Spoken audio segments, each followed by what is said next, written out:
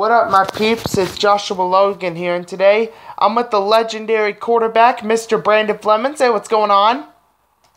going on? Today, uh, I'm just here to see you guys for a minute. And, uh, Brandon, do you have anything to say about something special this Saturday?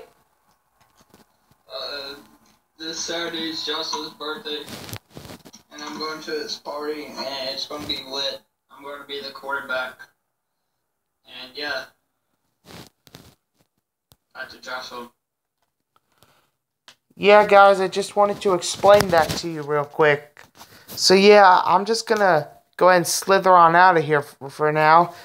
My birthday's this Saturday, so type in the comments, happy birthday, Joshua Logan, and yeah. It's been your champ, Joshua Logan. Brandon Fleming, Peace. Alright, peace out, guys.